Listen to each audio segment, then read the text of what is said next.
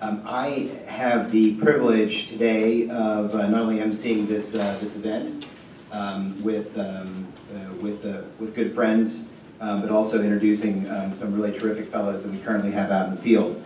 Um, as I think some of you know, uh, I was a fellow of the Institute uh, almost uh, 10 years ago.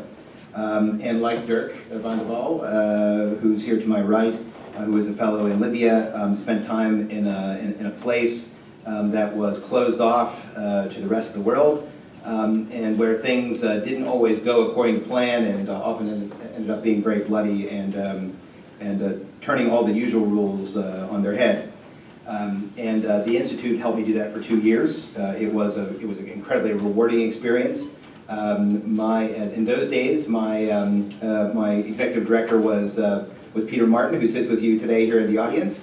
Um, and, uh, and I'm very happy he's, he's, he's here today as well.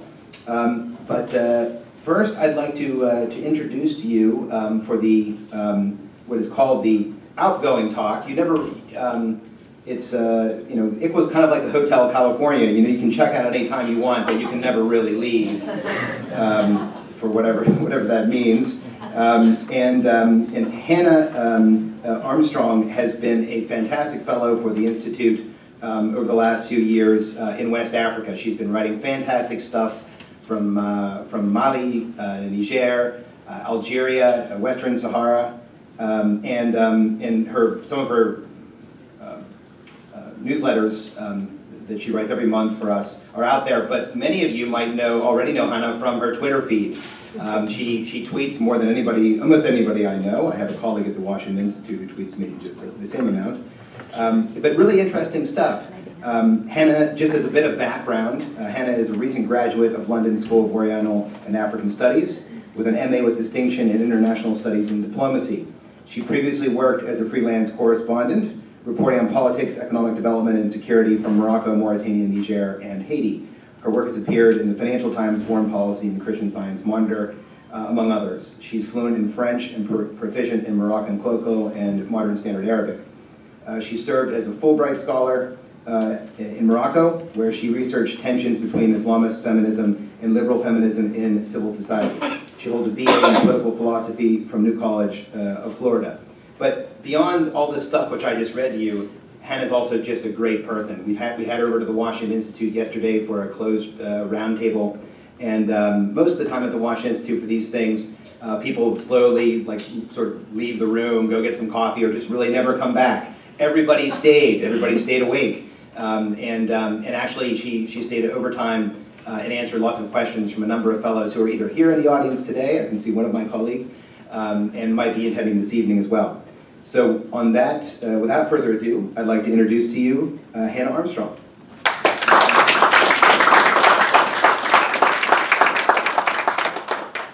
Thanks so much for that introduction, and I just want to express my gratitude to the Institute for this amazing opportunity to have spent the last two years in this way. I'm going to tell what I hope will be a cheerful, optimistic story about how Mali crashed and burned during the time I was there. Many people have asked me, what am I doing in the Sahel, and why on earth would I want to be there? The region often gets cast as ruthless, or empty, or racked by violent radicalism. But the truth is, with its nomads, unending sand dunes, and moonscape mountain ranges, strange politics, and inverted gender roles, it is aesthetically stunning and socially incredibly hospitable. It is also a microcosm of an African continent that is straining to redefine its political and economic systems, while shouldering heavy colonial legacies. Turmoil in the Sahel is often understood as the product of primitive interethnic discord or infectious Islamic extremism. And there is certainly no shortage of bandits, thugs, and criminals running around the zone. But patterns of casting Africa as a victim or an object of its own past overlook local agency and the creative and modern dimensions of upheaval in the Sahel. In nearly two occasionally turbulent years as an ICWA Fellow in Mali, Niger, Mauritania, and Algeria, I have been most struck by the creative and transformative potential of social and political movements. I came to study state building and security in the region and witnessed the precise opposite. The Malian state imploded spectacularly, and insecurity spread sharply throughout the zone. But underneath headline-grabbing events such as the coup, the Tuareg rebellion, and the al-Qaeda land grab of two-thirds of the country, and a sudden uptick of media coverage of a generally ignored region, central existential questions are still trying to work themselves out. How do you build a strong, resilient African state with post-colonial borders and no money? How do you bring development to the Sahara when there's no security? And how do you secure an undeveloped zone? How do you expect people whose only interaction with the state is with soldiers, whose pleas for schools, roads, and hospitals go ignored for decades, not to rebel? Incorporating Algeria into the fellowship somewhat late has been fascinating, as it is an extremely strong state, and I focus on the relationship between the state and the southern region. I'd be happy to speak more about Algeria um, in the question and answer period, and I will be speaking about Algeria on the panel. Um, I'd also be happy to talk about the Western Sahara in the question and answer I paid two visits there um, over the past few months. But for now, I'm going to focus on Mali and Niger. These two countries have, on the surface, the exact same factors of conflict. They're coup-prone, have porous borders, rising radicalization, restive northern populations, a massive territory managed by a small, fragile state, and an ethnic and cultural divide between lighter-skinned northerners and darker-skinned southerners. Niger, in fact, would appear to be at higher risk, as it borders war-torn Libya to the north, and Boko Haram fiefdom northern Nigeria to the south. So why Mali? And where is Mali now, nearly one year after the French intervention? I think it makes sense to look at these countries together because they have a lot in common. Northern nomadic populations coexist often uneasily with southern sedentary populations of a different ethnicity.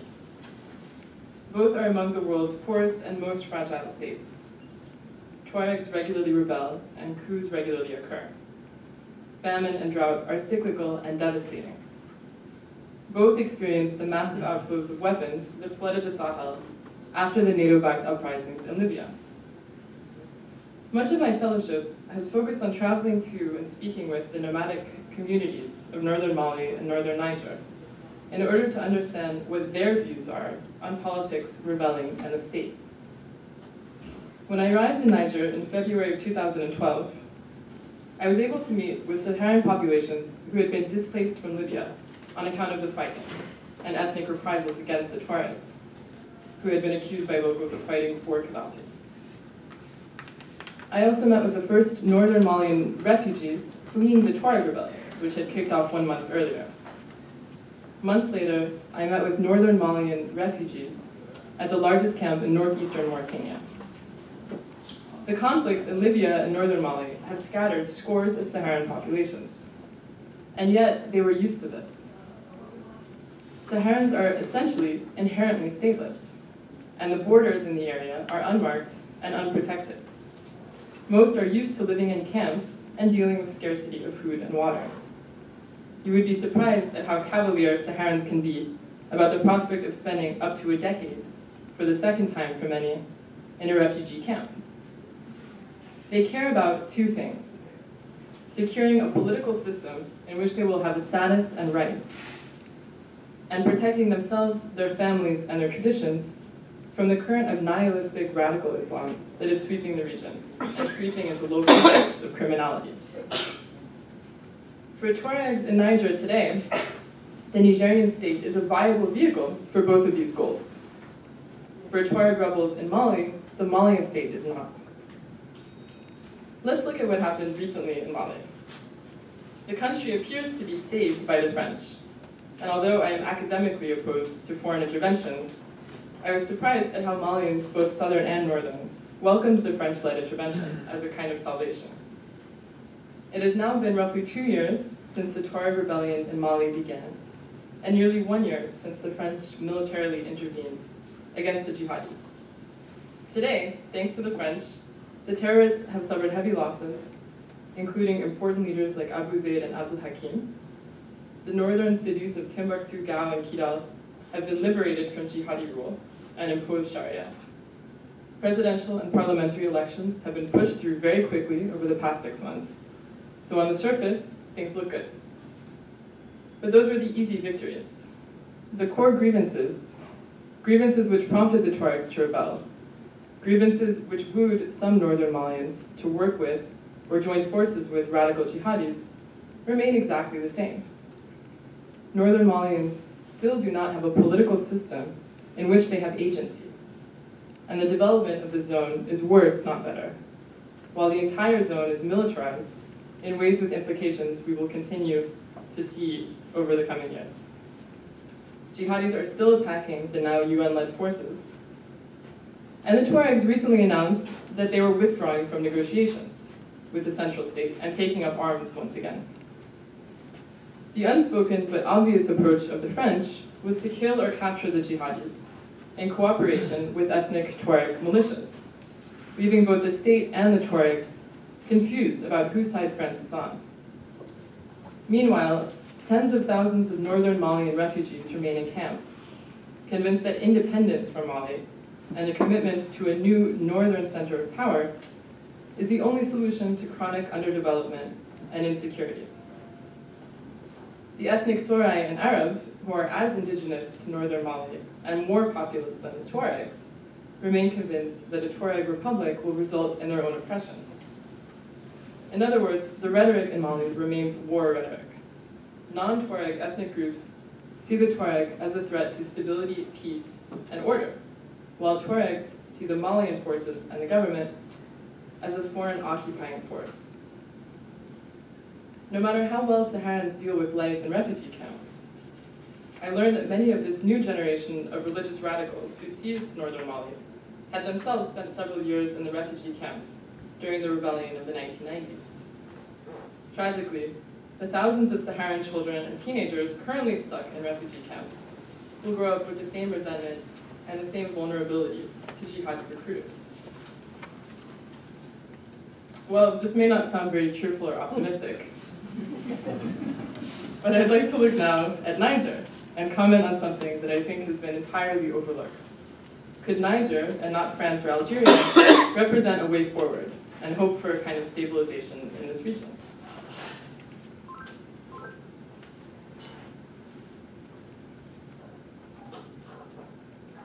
Unlike Mali, Niger shares a 900-mile border with northern Nigeria, where Boko Haram another radical Islamist insurgency has been shaking things up. It also, unlike Mali, borders southern Libya, where radical Islamist militias have also taken up operating, and where it is likely that the remaining jihadis chased out of northern Mali have set up shop. When I visited northern Niger in early 2012, I met with Tuaregs who had been forced to leave Libya. Many I spoke with would go to Libya to find employment and sent in construction or public works under Gaddafi and send remittances home that would support their families. Northern Niger is so poor that these returnees were more concerned about the loss of income and jobs than about the physical threats or hardships they had endured. I asked one Tuareg, who said he had been jailed in Benghazi and had fled Libya shortly after that, how he was treated in jail. He told me, with no trace of sarcasm or irony, that they had eaten very well there. Considering how desperately poor northern Niger is, and how geographically it is far more vulnerable to radical Islamist currents than northern Mali, I think it is very important to underline and to appreciate that the state architecture of Niger has held. There have been no rebellions, no coups, and no seizures of land by jihadis.